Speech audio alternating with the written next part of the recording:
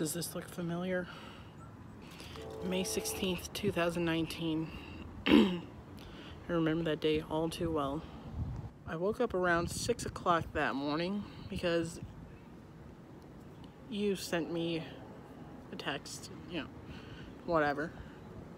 Said you wanted me to give you a ride to this building right here, our old middle school. Me not thinking much, I agreed.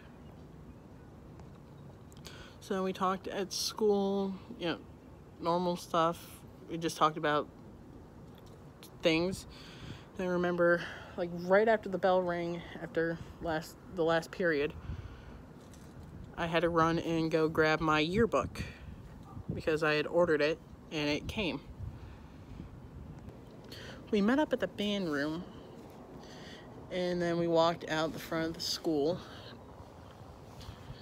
Then we got into my mom's Chrysler Pacifica. Then we drove here we arrived around 2.21.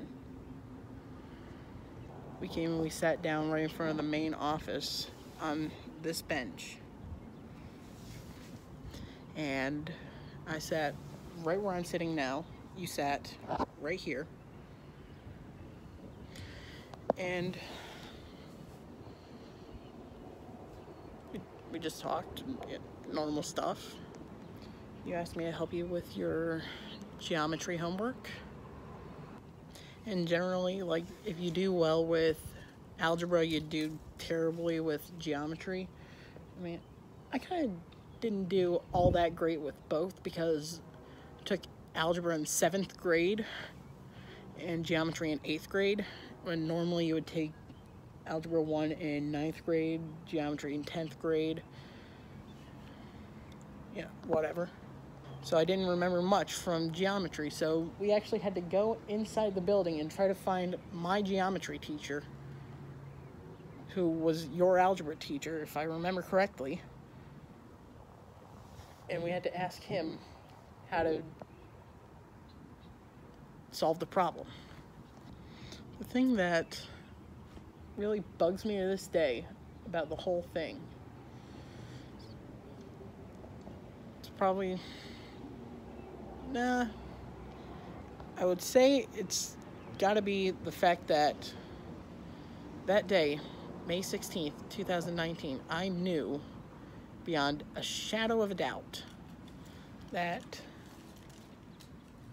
you were literally the most important thing in my life. I loved you more than anything. So we'll say that revelation came to me around 235.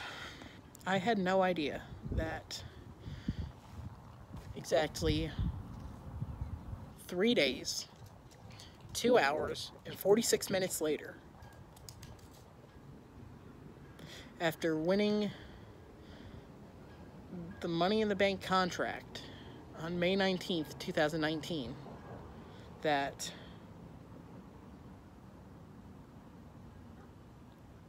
you would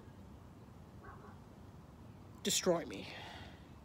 Sure, you may have broke my heart, but you know, I survived. You've tried like a million times to do it again, but you know, I'm still standing. And I know you're taking that as the biggest fuck you in history. And you totally should. You tried to get me to commit suicide at least five times, you shallow cunt. But at WrestleMania, I will beat you. That's a fact. It's not because I'm going to take advantage of your insecurities or whatever. It's not because I'm going to break into your house, steal all your makeup palettes, and then send you a video of me running hot water over them, then tossing them into my bathtub. It's not because I know you're a cold, heartless, shallow piece of shit. It's because I'm better than you. I know it, you know it, everyone knows it. That's why you well, you try you try to blindside people whenever you can.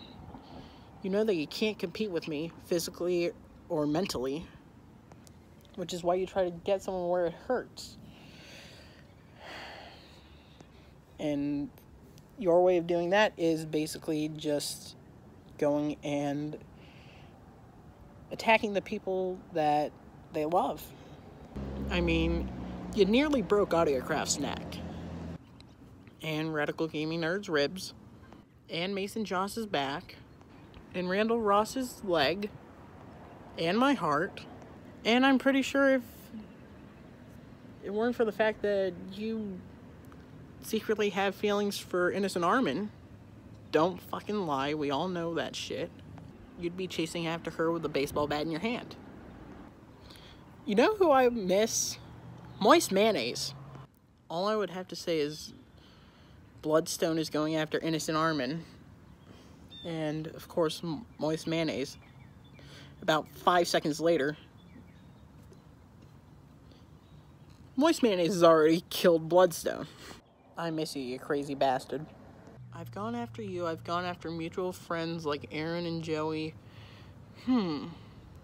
I should hit you where it hurts the absolute most. You went after my tag team partner, so I believe it's only fair that I go after your boyfriend now. I'm not afraid of you. And I know that you're afraid of me. You kind of tipped your hand with that one. So I will leave you with everything that you left me with. Everything that I had after that day, May 16th, 2019. I'm going to leave you with nothing. This isn't about taking back my title. This is about me getting retribution for everything you put me through. Are we clear? I think we're clear.